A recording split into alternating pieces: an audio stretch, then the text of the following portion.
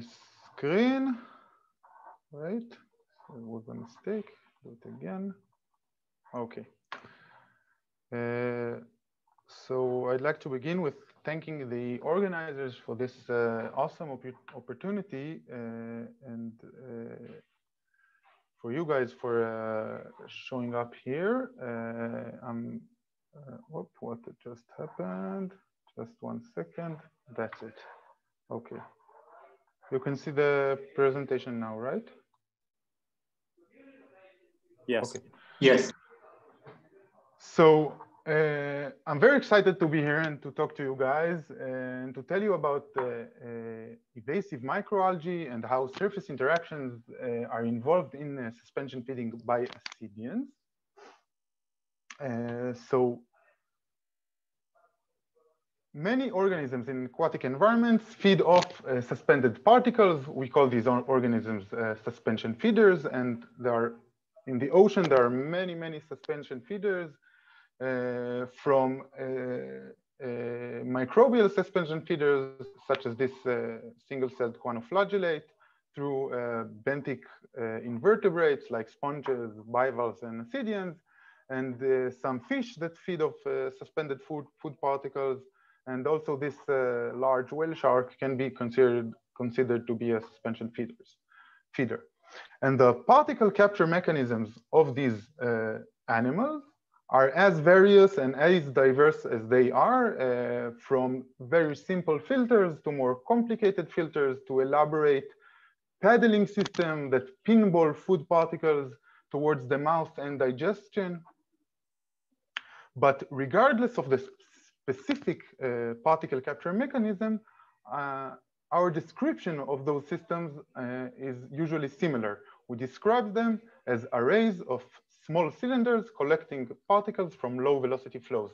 Now those cylinders can be the mucus fibers in the ascidian filter or the microvilli of the collar filters of the choanoflagellate uh, or the cirri of the bivalve gills.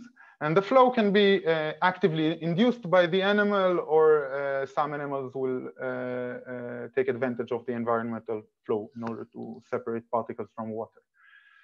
And predictions the particle capture of particle capture rate and uh, capture efficiency are usually based uh, on what is called the aerosol filtration theory or hydrosol filtration theory in that context that was introduced into the field of suspension feeding by uh, Rubenstein and one professor Mimi Koehl among among others and the Hydrosol filtration theory details the various processes that lead to the encounter of food particles with the collecting cylinder, the collecting fiber.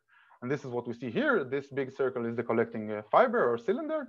And the food particles may encounter uh, the collecting cylinder via different uh, processes. So some food particles will just simply follow a streamline that will bring them close enough so they uh, encounter. Uh, heavier and bigger particles may uh, also cross streamlines uh, and uh, encounter the collecting cylinder due to inertia. for small particles, diffusion may play a role. you can also consider gravity in that context and even uh, electrostatic uh, interactions that may uh, attract or repel particles from encountering. however, in the ocean, we usually neglect electrostatic interactions due to the high ionic strength of seawater. And what's important to understand here is that the most important factor in uh, these processes, these encounter processes, is particle size. So particle size dominates this process, and this raises the question, is particle size really a sole predictor for capture? Uh, and we think that the answer is no, and we have several reasons, and one of them uh, comes from an evolutionary standpoint. So you can consider suspension feeders as the predators of marine microbes. And as such, you would expect that through evolution, some evasive microbes will evolve. Uh, and if particle size is the only important factor, the only way to evade predation is to be small, very small. However, there is a theoretical minimum for a free living organism. Uh, and this is because in order to be a free living um, microbe, uh, you need at least a minimum amount of DNA, some uh, ribosomes, some uh, cellular machinery to uh, live freely in, in, the water. And the smallest cells we know of have the diameter uh, of uh, 100 nano nanometers, the smallest free living cells. And this is what we see here in this image. You see here this crescent shaped uh, bacteria belonging to the SAR11 clade next to this 0.5 micrometer bead. And indeed, the small axis of this uh, cell is uh, somewhere around 100 nanometers. And uh, back at 2017, Dr. Dadon Pilosof, who is also a member of our research group, was able to show that uh, SAR11 bacteria, those smallest free-living organisms we know of, uh, are able to avoid being grazed by different suspension feeders, not thanks to their small size, but rather thanks to their surface properties, Ayelet found that uh, they are uh, much less hydrophobic than other microbial prey. Now, this idea that surface interactions play a role in suspension feeding was suggested long ago. Uh, back at 1984, LaBarbera wrote that it is assumed that all particles stick. The effect of particle surface properties on capture have been largely ignored. Moving on to 1991, uh, Shimeta and Jumars wrote that surface characteristics of the collector and particles deserved, deserves much more experimental attention. Uh, then at uh, 2003, Bone et al. wrote that the degree of adhesivity or stickiness must also have a large effect on the capture of particles. Note the ambiguity of these terms, adhesivity and stickiness. And finally, just a few years ago, uh, Conley et al. wrote that the role of particle surface properties in dietary selection in the oceans need to be re-evaluated. And this is what we're trying to do, to re-evaluate uh, uh, the role of particle surface properties in dietary selection. Now, I've complained that uh, the terms used here are ambiguous, and I'm keeping on using ambiguous terms. I'm always saying uh, surface properties or surface interactions. Those are, are also ambiguous, so I want to try and pour some content into them. And when you talk about uh, uh, the deposition of small particles onto bio biological surfaces, you must mention the classical DLVO theory that was developed uh, and named after the, these uh, esteemed scientists uh, listed here. And this uh, theory, as I said, is often used to explain the deposition of colloids of small particles onto biological surfaces. and the DLVO theory simply sums the forces that uh, the repulsive and attractive forces that act between the particles and the surface they deposit on. And this is what we see here in this plot. We see here the force on the vertical axis as a function of the separation distance between the particles and the surface. And here, attractive forces are repulsive and negative uh, uh, forces are uh, attractive. Uh, and you can see that the uh, this blue curve that represents the repulsive force uh, arising from the effects of the electric double layer, which is which plays a role if the particles and surface carry a similar charge, and the attractive forces that arise from the always present van der Waals forces. And if you sum those two uh, curves together, you get this famous green DLVO curve with this uh, energetic barrier here. And what's important uh, to understand here is that uh, the DLVO forces are all the forces that have something to do with surface charge. So surface charge is important. And as I mentioned earlier, in the ocean, surface charge is usually neglected. It is assumed to be not important because of the high ionic strength of seawater. So we need to expand our uh, surface, uh, our vocabulary of surface interactions to beyond the DLVO theory to non-DLVO forces, and I want to mention one. Uh, so one surface property I want to talk about is uh, polymer brushes. Polymer brushes are long chain polymers that are attached by one end to the particle surface. Now, if the grafting density of the polymers on the particle is dense enough, the chains uh, will stretch away from the uh, interface. Uh, we're talking about long chain polymers that are tethered to, to the particles at one end and the other end remains dissolved in the uh, solution in seawater in our uh, case. And the thickness of this polymer brush layer, this H, will grow with the molecular weight of the polymer. So heavier polymers, larger polymers, uh, thicker polymer brush layer. And polymer brushes give rise to a, to the, to a surface interaction called steric repulsion, the steric repulsion effect. So imagine this polymer brush uh, coated particle that, that is about to deposit on this uh, gray surface, this gray line here. As the particle approaches the surface, the imaginary volume between the particle and the surface, this, this uh, uh, white dashed box here, gets smaller and smaller. And as the volume of this volume, uh, and as the volume decreases, the concentration inside it increases, obviously, which creates osmotic pressure, uh, which uh, leads to uh, repulsion, a repulsive force. So you can think, think of polymer brushes as a, ther thermodynamic springs powered by entropy. And there are uh, many examples of the involvement of steric repulsion in biology. So we know that some viruses are able to penetrate our, uh, the mucous barriers in our eyes or digestive tract uh, because their capsids are covered with polymer brush brushes. We know that the polymer brush will affect the mobility of particles inside hydrogels and biological hydrogels to be specific. Uh, adhesion to mucus is affected by polymer brush, and there are more examples. And what's neat about this effect, it's that the chemical composition of polymers doesn't really matter. As long as they are tethered at one end to the particle and are able to be dissolved in the medium, in the solution, uh, you will, uh, uh, uh and given that the grafting density is high enough, you will get a polymer brush structure and you will get the steric repulsive, uh, repulsive effect. So we wanted to study surface interaction in suspension feeding, and our approach was uh, as so. We took artificial particles of known sizes, we then modified their surface properties and character characterized them, and then challenged uh, suspension feeders to catch these particles and uh, measured the capture efficiency of uh, each modified particle. In order to modify our particles, we covered them, we coated them with uh, uh, poloxamers. Poloxamers are a group of uh, long chain non-ionic tri-block copolymers, which means that they are uh, long chain polymers that are made of three block blocks. So poloxamers are have a hydrophobic polypropylene glycol core and two hydrophilic polyethylene glycol tails. Uh, polyethylene glycol is PEG for short.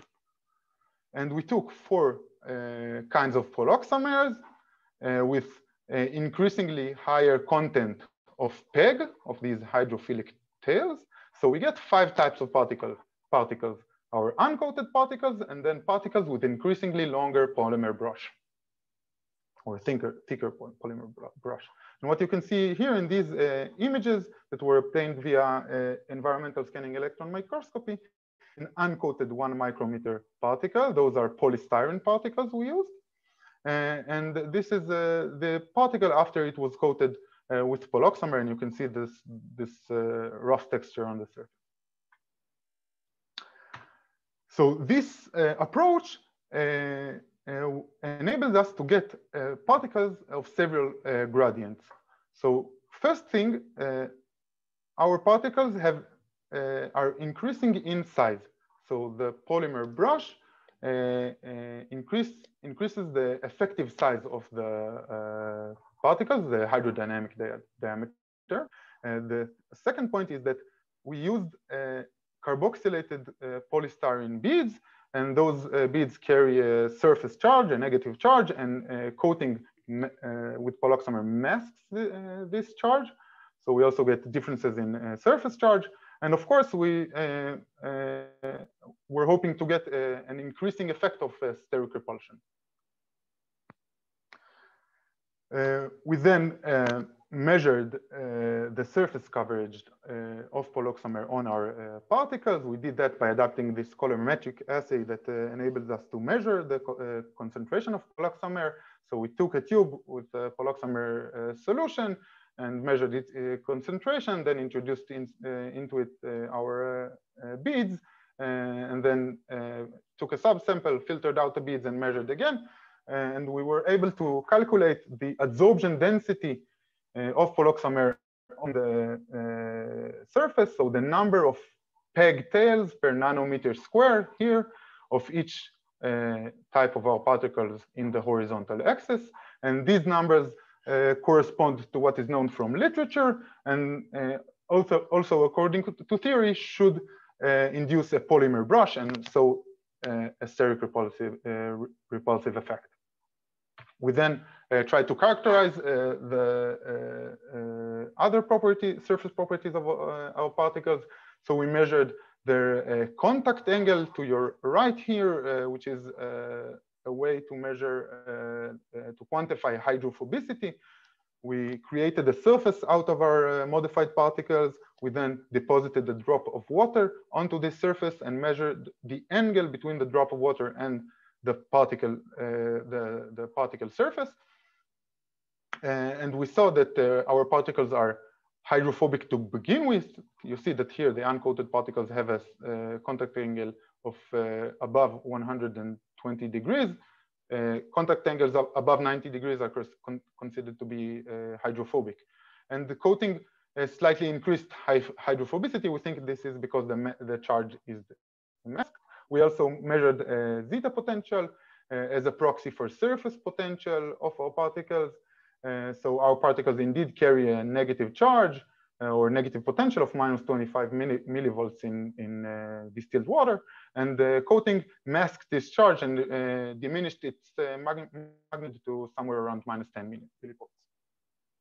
So we have our modified particles and we characterize them. Uh, the next step was to challenge uh, suspension feeders to capture these particles, and we chose ascidians as our model uh, filter feeders. And I want to tell you a little bit about the ascidians. So ascidians are uh, benthic filter feeding invertebrates. They belong to the Chordata phylum, just like us.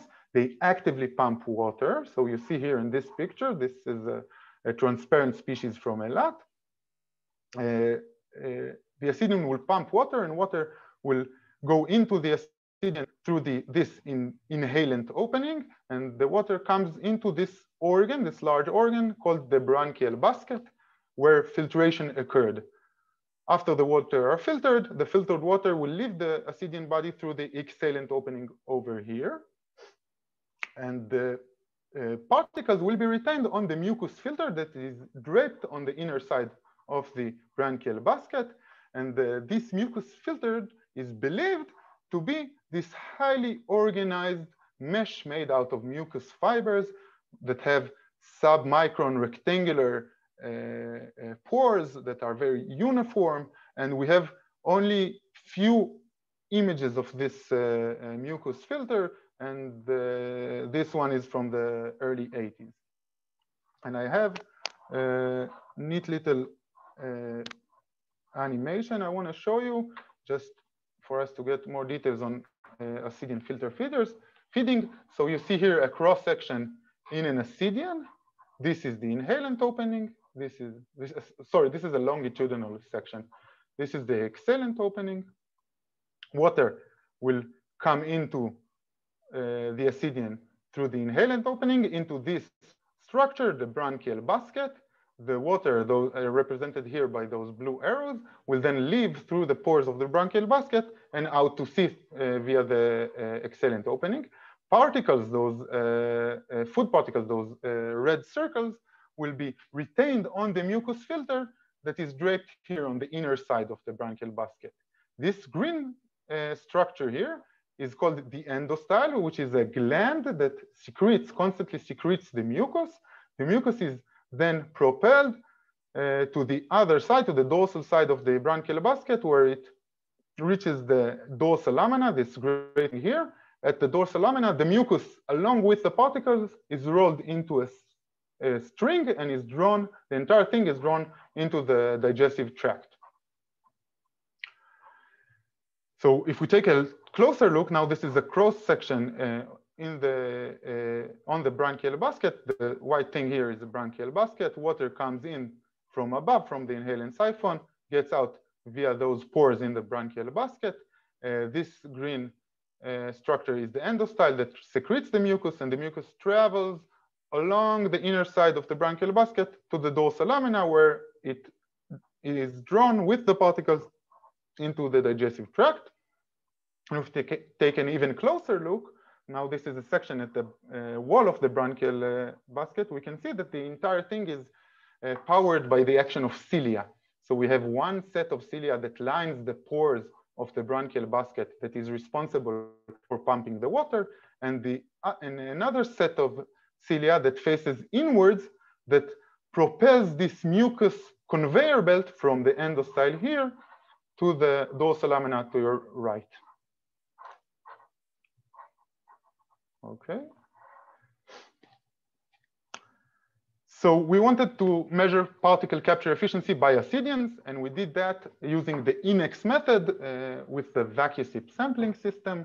And this uh, method allows us to directly sample uh, the inhalant and exhalant water, so water before and after they are filtered, uh, while we're, we're sampling these uh, sample pairs of uh, inhalant and exhalant water, we introduce our surface manipulated particles, and then we can compare the particulate content of our sample pairs, see what went and see what went in versus what went out of the animal. And here's a short video dem demonstration. You can see here an ascidian. This was filmed uh, at 10 meter depth uh, in Eilat.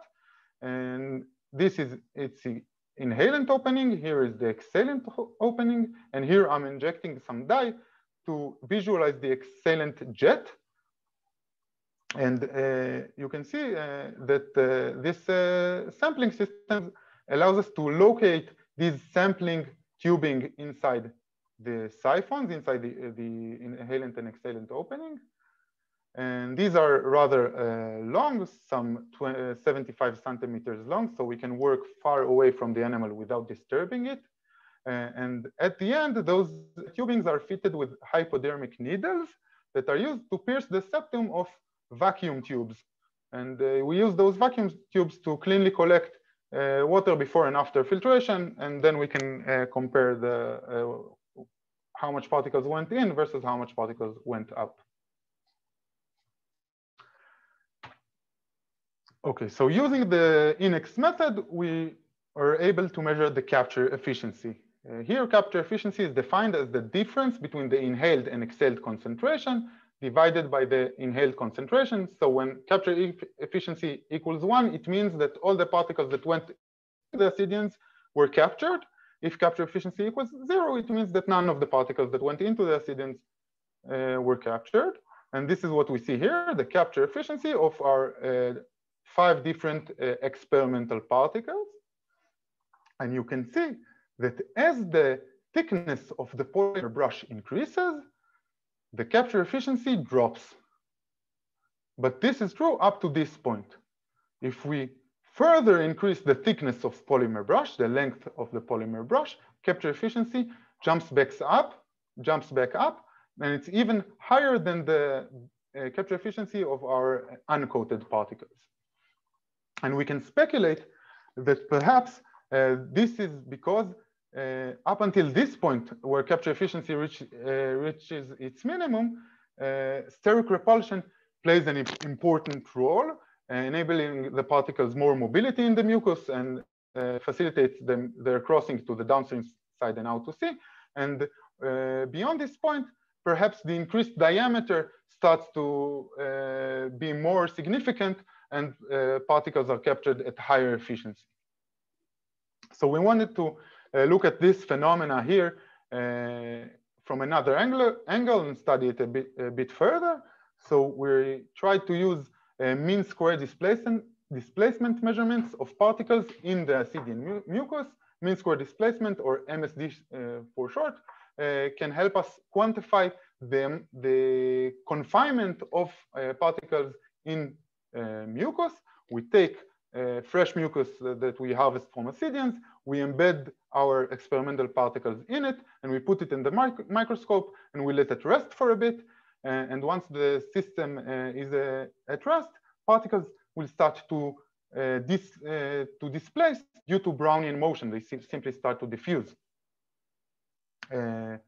And once that's happened, we are recording their location in two dimensions. Uh, two dimensions. We use a confocal microscope over some time, usually uh, 30 seconds. And this is what you can see here. you can see uh, the entire tracks of two particles over this 30 second period. And you can clearly see that one particle occupies a larger area than the other particle. Uh, uh, and we can perhaps say that this coated particle, this poloxamer coated particle, is uh, less confined or more mobile in uh, the mucus than the uncoated particle. If we look at the track of a single particle over time, we can see that the area it occupies increases as time progresses. And this is simply because the particle diffuses away. Now we can calculate this area at each time point and take the ensemble average over many types of many measured particles, and we get the MSD, the mean square displacement. And if we plot the mean square displacement versus the observation time or time scale, we get what is known as the MSD curve. And this is the MSD curve. So we have the MSD, the mean square displacement here in the vertical axis as a function of the time scale. And what's neat about the MSD curve is that its slope is in fact the diffusion coefficient times some constant. Uh, now this is uh, not entirely true because in our case, since mucus is a viscoelastic material, uh, the particles do not carry, uh, execute an ideal random walk. So they do have some memory of their initial location. Uh, however, since our MSD curves are almost linear or very, very close to be linear, uh, we can define the effective diffusion coefficient as the slope here. And uh, if we look at the effective diffusion coefficient and its relationship with capture efficiency, we see that they correlate really well. So this is what we see here. We see the capture efficiency of our different types of particles as we measure them in situ using the INEX method as a function of the effective diffusion coefficient we, uh, which we calculated uh, from the MSD measurements. And you can see that those two parameters correlate really, really well. Uh, and this is a bit obvious maybe, because what I'm basically saying here is that particles that are more mobile in the filter will be captured less efficiently, which is intuitive and perhaps obvious. However, it raises the question, does it correspond with the suggested st structure of the mucus filter as this two-dimensional mucus mesh? And we think that the answer is no, that there is a contradiction here. And uh, uh, uh in order to understand why, I need to uh, explain a little bit further about particle capture by uh, ascidians. So if we assume that the ascidian filter is this two-dimensional rectangular mesh, this blue mesh here, in order uh, for particle to be, particles to be captured, there are three steps that needs, need to happen. Uh, particles need to encounter with the filter, they need to be retained by it, and the ascidian need to, handle the particles and uh, digest them, etc. So uh, encounter, uh, particle encounter happens because of the feeding flow. The ascidian induces flow, water goes into the branchial basket with food particles and the particles encounter with the filter. Particle retention uh, requires uh, uh, for small particles, for particles that are smaller than the pores of the filter, uh, the retention requires some retaining force, right? If small particles encounter the mucus fibers of the mesh, they need to be held there by some means. In the absence of this retaining force, those particles will simply roll over the mucous fibers and be lost uh, downstream and out to sea. However, for larger particles, this retaining force is not needed. Larger particles are retained simply by mechanical sieving, just like your pasta strainer uh, at home. You make pasta, you filter it through your strainer, and the pasta particles are not lost to your sink because they're too big to pass through the hole. So the same thing uh, should happen here. And this means that large particles, particles that are larger than the pores of the uh, uh mesh, will be captured at 100% efficiency, regardless of their surface properties or color or anything else. Uh, and then ascidian uh, has to handle the particles and digest them, etc. I won't go into that. So large particles are captured at 100% efficiency regardless of surface properties. So we want to check this assumption. Uh, so we measured again capture efficiency of different uh, side particles. And we have here uh, the capture efficiency as a function of diameter of two types of particles. This uh, yellow curve represent our experimental uncoated polystyrene beads. And you can see that large beads are captured at 100% efficiency, and then capture efficiency drops for smaller particles. And for uh, uh, and the second curve, this green thing represents the capture efficiency of naturally occurring planktonic cells. This is the main advantage of measuring in situ. You can see uh, the actual prey. You can measure the actual prey of the uh, organism. And you can see here that uh, naturally occurring plankton is always captured at a lower efficiency than our uh, uh, beads. And this is true for small particles, but it all, it's also true for large eukaryotic algae, such as the, uh, uh these algae represented by this uh, diamond. Uh, and these eukaryotic microalgae are captured at 70% efficiency in this case, which means that 30% of them were able to cross the mucus filter downstream and out to sea. Now, in order for that to happen, it means that a sphere at the size of roughly three micron need to carry, uh, to cross over this mucus uh, barrier, this mucus mesh. And this uh, illustration is to scale. So it's hard to imagine how uh, su such an al algae will uh, cross this filter, and this simply doesn't fit this description. And we observe this phenomena many times with many different uh, Ascidian species coming from, uh, from uh, several different environments. And we saw it in situ and we saw it in the labs. There are some exceptions, but uh, uh, the vast majority of data shows this phenomena. And we think that the possible explanation for it is that the mucus is in fact of a different structure than previously suggested, and we think that uh, it will be beneficial to think of the Ascidian filter as a continuous mucus sheet rather than a discrete array of mucus cylinders. So if we look at our Ascidians and take a cross section here, uh, we get here to the uh, branchial basket and we flatten out this uh, mucus uh, sheet. We get here. So this is the mucus filter. Here is the endostyle. The other end is the dorsal lamina where particles are enter the digestive tract and particles will be carried with the flow from the inhalant opening with, with this uh, flux Q and they will encounter the mucus uh, uh, filter. Uh, and once they encounter it, they will start to uh, transport across it. While they're transporting across it, the mucus conveyor belt, the mucus itself has a velocity carrying the particles from the endostyles towards the dorsal lamina.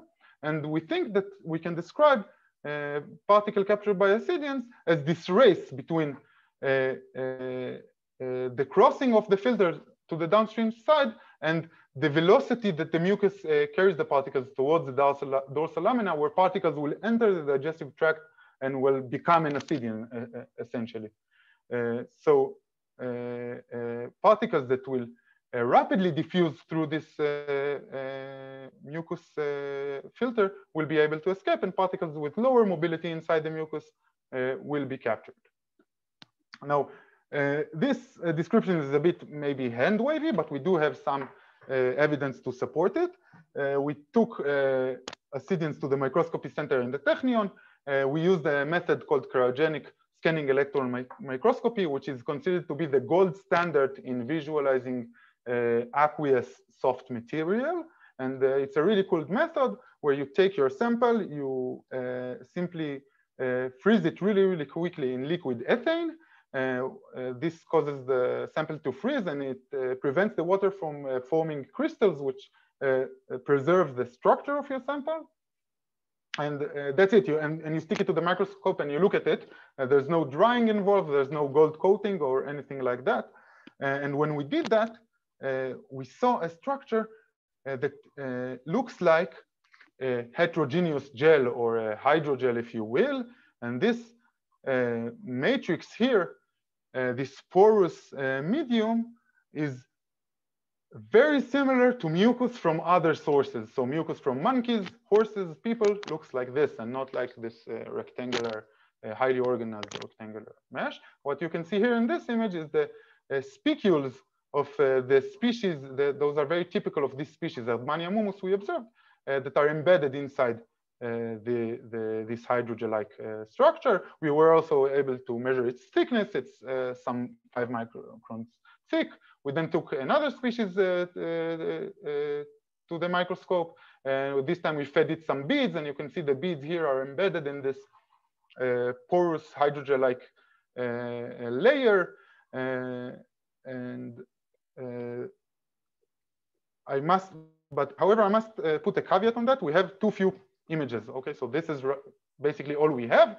So we need to uh, uh, keep on working and, and, and establish a, a, larger data set of uh, images such as this in order to really drive this point home. So take this with a grain of salt. And I want to conclude. So we learned that uh, surface interactions are indeed involved in particle capture uh, by ascidians. We saw that when, when we alter the surface properties of particles, uh, capture efficiency changes as well.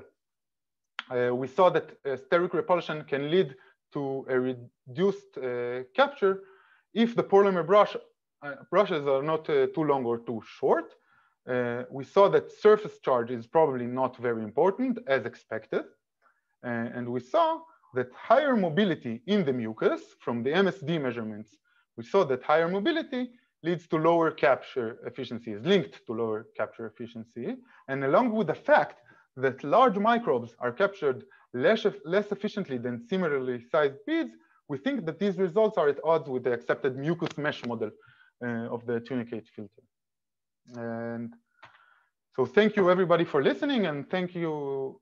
Thank, I want to thank everyone who was involved in this project and uh, the sponsors and I will be glad to answer any questions. Okay, thanks a lot, Yuval, for for the talk. It's very nice. Um, so um, there are a couple of questions. Actually, um, I don't know. I'll I'll uh, I'll start. Um, uh, so when you looked at the when you showed the poloxamer coated particles, um, your SEM uh, showed that um, there are there seems to be surface inhomogeneities. So um, I was wondering whether you have you guys have thought about potential um, effects due to any homogeneous distribution of the polymer brush. So we didn't deal with it uh, directly. The problem is is that uh, these images are extremely hard to to obtain. So it's uh, uh very difficult to to to mm -hmm. visualize the polymer brush uh, microscopically. Uh, and in fact, the, our uh, the rest of the characterization we made, like uh, measuring zeta potential and hydrophobicity, were mainly aimed at making sure we have a polymer brush around the surface or making sure we have uh, uh, uh, absorption. and this homogeneity, I don't know how to explain it, and and and there's more than meets the eye here. So I think that the most of the polymers are invisible here. Problem is, is that you can't freeze those beads because they'll shatter. So you can't use cryosem and the environmental SEM has lo uh, lower, too low of a resolution to see that. And it's, it's people are trying to see uh, polymer brushes, but it's pretty hard. The, the okay. only way currently is, is atomic force microscopy, which we should at some point do. Okay, thanks. Um, I think there was a question from Matea Santiago. Hi, yeah. So I thought that the um, the slide that you had showing the difference um, in the capture efficiency of all of the different, so way, way back at the beginning, I should have made a note of which, um, which slide, one? yes, this one. Yeah, so um, I was interested in, well, I think you explained it, but maybe I didn't understand there seems to be this slope down from as you increase um, and then all of a sudden there's a bump up right yeah. Mm-hmm. and it seems larger than the than the smallest. I was wondering if um, how significant this is and how robust you've been able to see this. The difference between those two data? Yeah. Yeah, it is significant. Uh, okay. But it's not big. Yeah, that that's my question because there's a little bit of overlap. So I was just yeah. wondering um, how significant uh, you can attribute this to. Yeah, so so yeah, we, we did statistically test it, and, and, and those are uh, those two are the same, and then there are differences between all the rest. Oh, cool! Very cool.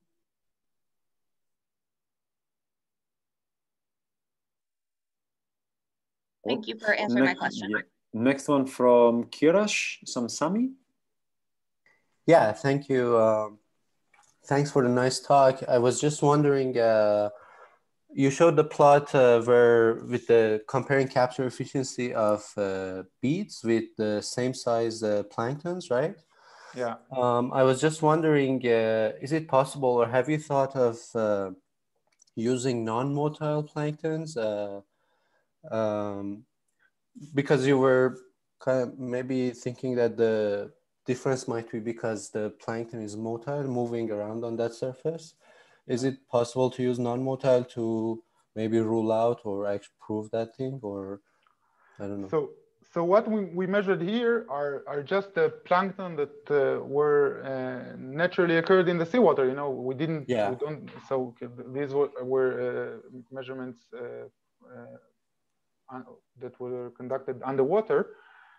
Uh, however, what uh, Ayelet, uh, Dr. Dadon I mentioned earlier, uh, is doing, she takes these uh, INEX samples, these samples of water before and after filtration, and she ex extracts the DNA and she sequences it. She's, she's using next generation sequencing, so she can tell which um, um, microbes are captured and which are not.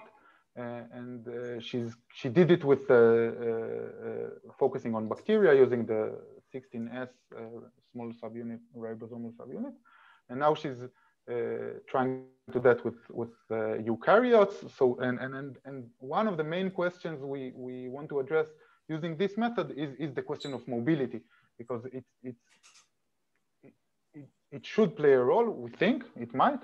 Uh, it perhaps you can uh, imagine that some uh, uh, motile uh, plankton will be able to power swim through the mucus and, and tear the way, their way out. and yeah, we're, we're definitely interested in that. Yeah, thanks very much. You're welcome. Okay. Um, is there any other question? Um, I have I had actually um, this like a silly question. This looks like um, very much like the uh, mucus transport in the lungs.